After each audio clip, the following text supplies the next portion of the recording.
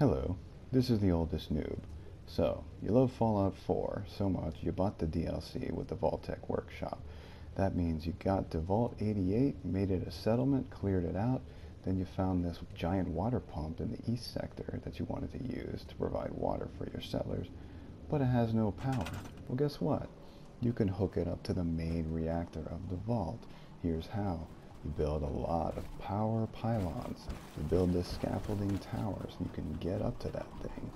Attach the wire to the top, as you see right here. I used a small power pylon that I had to put here on the scaffold, then a larger one down there, which you can actually reach from the scaffold. And here I'm showing you, I think I built about 30 of these things.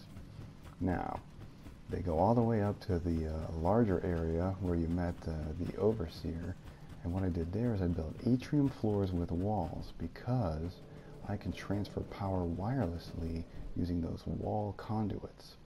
They only fit on the atrium walls and I'll demonstrate here with this traffic light that it works without wires as you carry it around. Just, just got to make sure those walls and those conduits are only like a few floor tiles apart. And you got to have this one on the original wall. And that's all there is to it.